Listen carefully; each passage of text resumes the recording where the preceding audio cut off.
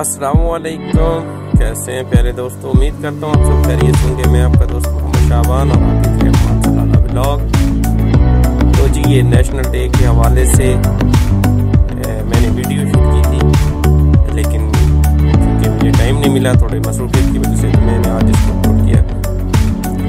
ये main area है सलाले का जहाँ से अभी हमने स्टार्ट किया है। ये जो आपको सामने बड़ी बिल्डिंग नज़र आ रही है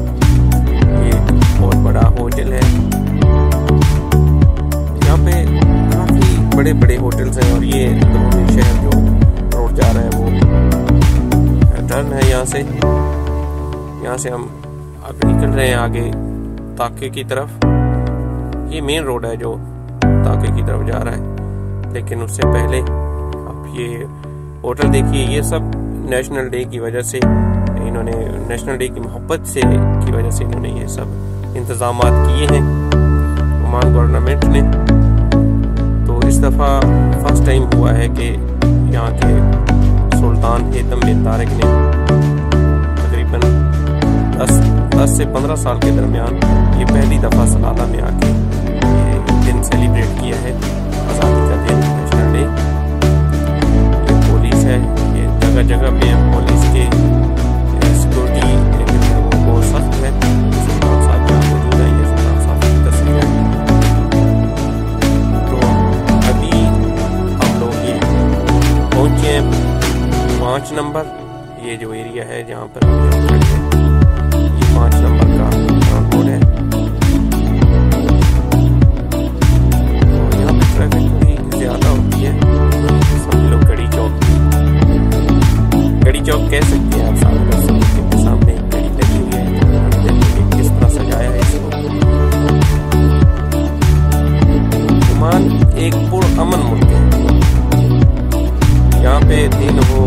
रात हो या रात का कोई भी पहर हो, आप जिस तरफ़ जिधर मर्ज़ी घूमते फिरें, बस कोई अनलीगल एक्टिविटी ना करें, कानून तोड़ने की कोशिश ना करें, बाकी आप घूमें, फिरें, मज़े करें, आपको कोई नहीं पूछे।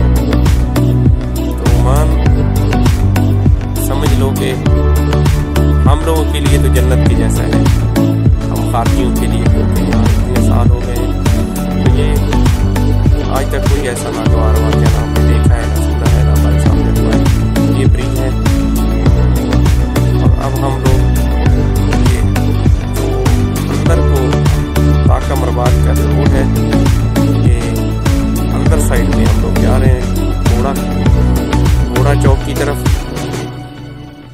लोग सोच रहे होंगे कि यहाँ पे घोड़ा चौक कैसे आ गया।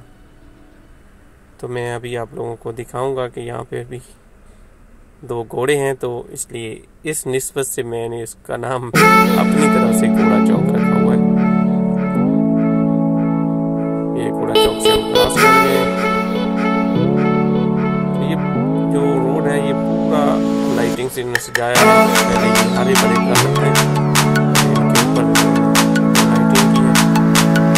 है